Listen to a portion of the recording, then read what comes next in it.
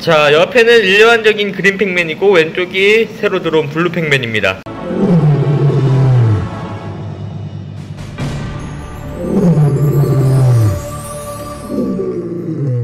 자 안녕하세요. 알약농장입니다. 오늘은 이제 알약농장의 새로운 식구들을 보여드리려고 영상을 촬영해봤습니다. 바로 보시죠.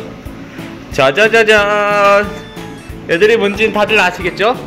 그 진로 개구리로 유명한 이제 white tree frog blue form입니다 보시면 이렇게 snowflake도 있습니다 와 flake 예쁘게 잘 들어갔죠 이렇게 분양 중이고요 이렇게 일반적인 blue form 아성체도 있고요 이렇게 일반적인 아성체들도 flake가 안 들어간 건 아닙니다. 어느 정도 들어가 있어요. 얘를 부모가 snowflake 개체이기 때문에 이렇게 flake가 많이 들어간 애도 있고 조금 들어간 애들도 있습니다. 분양가는 서로 다르고요.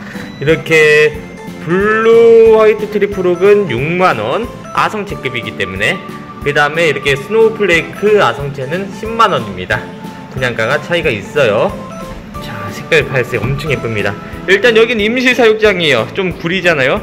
임시 사육장이라 그렇고요 이제 좀더 주문한 사육장이 오면 좀 더 보기 좋은 사육장으로 옮겨줘야겠죠? 얘들은 발색이 계속 변해요. 기분 따라서 환경 따라서 그리고 개체 원래 발색 따라서 색깔이 계속 변하는데 얘들이 이제 기분이 최고조로 오르면 진로개구리 그 색깔이 됩니다. 얘들도 이제 점점 색깔이 올라온 애들이 있죠? 그 색깔로 올라올 거예요. 일단은 이렇게 처음 첫 번째로 보여드린 음, white tree frog blue form과 스네, snowflake 애들이었습니다. 넘어가 볼게요. 자, 다음으로는 간만에 blue Pacman 암성체가 들어왔습니다. 얘는 지금 1년 8개월 정도 자란 아, blue Pacman 암컷 성체고요. 어, 얘는 선별의 선별을 통한 진짜 쨍한 사무라이 blue고 어디 부정교합이나 장애 하나 없이 건강한 암컷 성체입니다. 파란색 발색 장난 아니에요. 와 진짜 예쁜 녀석입니다. 이 녀석은 아주 고가의 알약농장에 들어왔고요.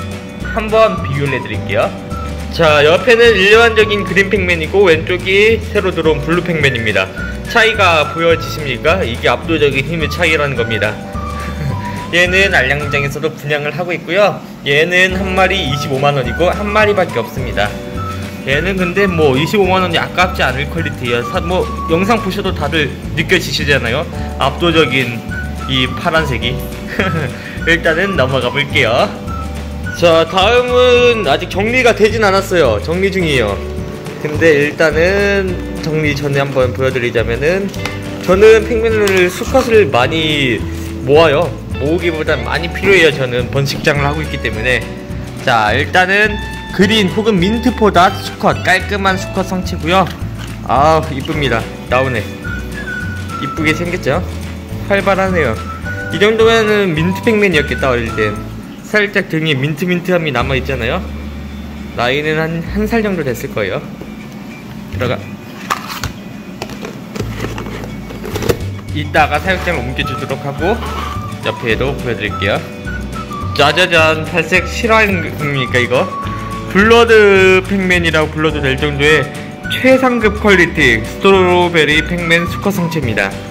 와 발색 이거 실화입니까 진짜? 와 이거는 진짜 와 웅장해집니다 지금. 이 발색 어디 가서 못 보여요 진짜로. strawberry Pacman이 커서도 이렇게 빨간 경우는 진짜 없거든요. 제 strawberry Pacman 보여드릴까요? 옆에 얘가 제가 키우던 스트로베리인데 얘도 발색이 좋은 편이에요 근데 옆에 있으면은 발색 차이가 보이십니까? 와 이번에 진짜 발색이 압도적인 애들을 데려왔어요.